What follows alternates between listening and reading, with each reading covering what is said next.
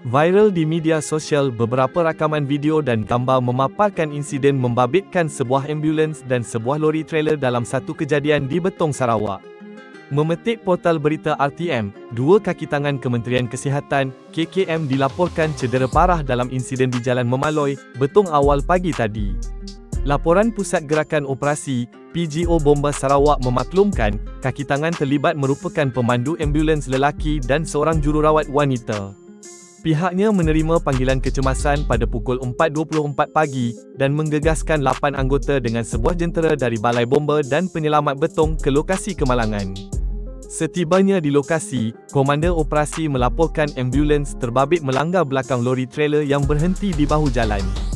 Pemandu dan jururawat berkenaan bagaimanapun berjaya dikeluarkan oleh orang awam sebelum ketibaan pasukan bomba di lokasi kejadian.